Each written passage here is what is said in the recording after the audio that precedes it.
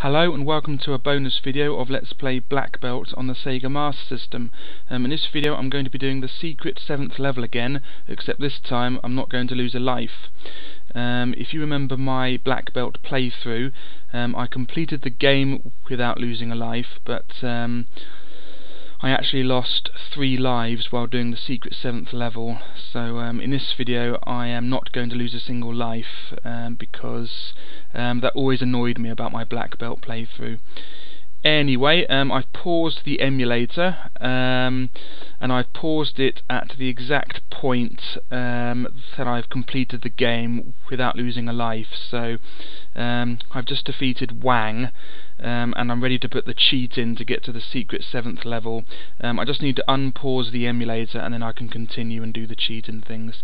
I'm going to pause the video, uh, I'm going to unpause the emulator, then I'm going to resume the recording, so I'll see you in just a moment.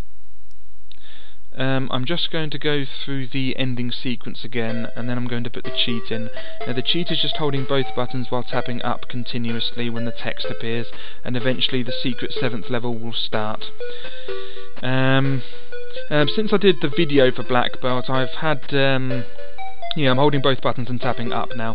Um, I've had a lot of practice on this game, um, and I can pretty much do the first two bosses without losing any health. Um, it doesn't matter for the main playthrough because your health is replenished then anyway, but uh, um, in the secret seventh level, it's like a survival mode, um, and that means your health is um, is carried over. So it's important that you not lose any health on the on the early easy bosses. So, uh, uh, so it's good that it's good to have a way not to lose any health, if, if you know what I mean. Right. Okay, for the first one, Ryu, or Rue, whatever his name is, uh, you just have to stand there, and when he does an attack, move in, and then wait.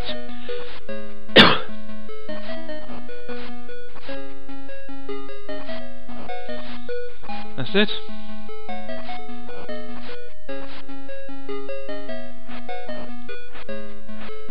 And that's all you have to do. Easy peasy and you don't have to follow him around or anything. He'll never move in close to you until he's attacking. So you, you can just um, you can just be there, and he'll just try his attack. And and when after he does the first punch or kick, just move in, then move back and then just uh, rinse and repeat. Um, Hawk is also easy, just make sure you punch him, and that's for the same reason that you want to punch on the normal levels, because it's faster and more reliable, even though it, uh, for the first half of his health, it actually does less damage, um, until he starts doing the uppercuts when half of his health is gone. If you kick, you leave yourself open, because it doesn't have as much range as the punch, so um, make sure you punch, even though it will take longer, because it doesn't do as much damage for the first half of his health. You see, now he's doing the uppercut and there we go. And, uh, the punch for the last move always turns into a kick, uh, because Ricky has, has to finish him off with kicks, and for some reason Hawk explodes. I, I, I don't know why. Um, yeah, uh, uh, uh, the next boss is Gonta. He's the first one that can cause a slight problem. Um, just, yeah, because he's slightly unpredictable. But just make sure you jump over his first charge and then go for it. Don't stand too far away from him, otherwise he'll charge you again. You know, here we go. Now he got me, the little sod. He got me again.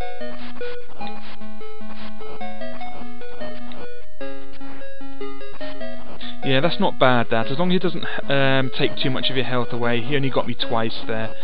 Uh, so it's not too bad. Um, I shouldn't lose any health on Oni, because Oni's easy. But I do want to show you... Um, I, want to show you uh, that Ricky has to walk over his mask. I didn't demonstrate that in the in the playthrough because um, because the mask is on the um, the mask was on the right of him then. So I'm going to see if I can get Oni on the left of me, and then and then it will show you that Ricky has to walk over his mask. There we go. And if if you if you defeat Oni and the mask goes off the screen because you got Oni near the edge, um, you won't be able to leave this level because Ricky has to walk over the mask otherwise you won't be able to leave and it sort of crashes the game. It's this annoying little glitch, I don't know why they put it in, but Ricky has to walk over his mask if you want to leave the area, otherwise you can't get to Rita or the next level if you're playing this during the uh, uh, normal gameplay. Um, so this will demonstrate to you. There we go, just one more hit and he's mine. There we go. You see, and he has to walk over it. He has to walk over the mask.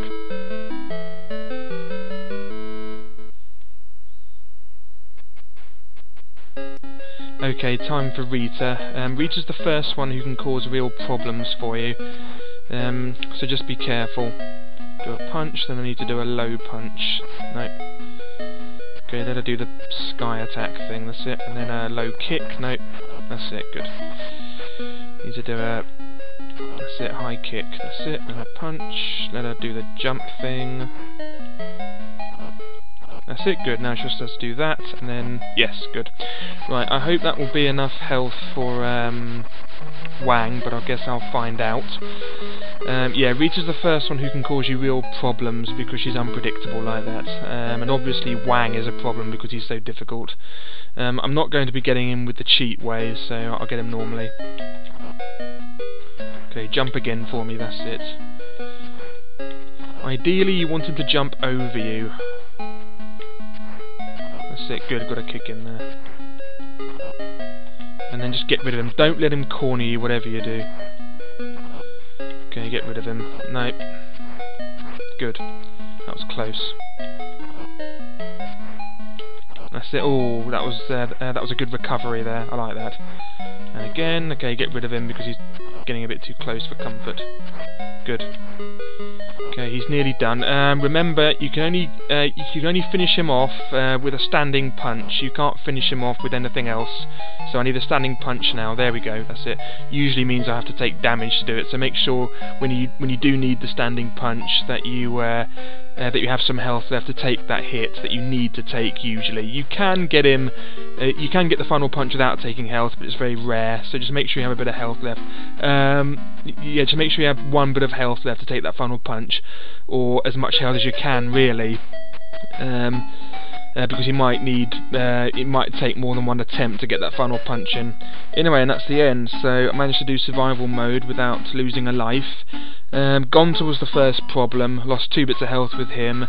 Didn't lose any on on. Uh, I didn't lose any health on Oni. Um, Rita is always a problem, as is Wang. Rita is just unpredictable like that when she does those little fast attacks when you get close to her. Um, but the real problem is, of course, Wang. He's the main problem. I mean, you can lose all your health with him if he corners you. Even if even if you have nearly maximum health, he can take all your health away.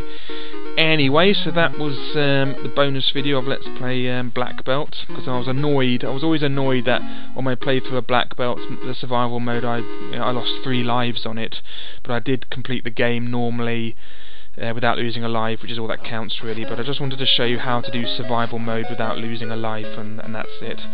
Um, yeah, so my next video is definitely going to be... I did say my next video was going to be the ninja, but now, definitely, this was just a bonus video. Next video I'm going to do uh, will be part 1 of Let's Play the Ninja on the Sega Master System, uh, then part 2, and then I'm going to do Heroes of the Lance, and then probably Moonwalker. Anyway, so thank you for watching this bonus video, I hope you enjoyed it. Um, and uh, my next video will be part 1 of Let's Play the Ninja. So thanks for watching, and goodbye.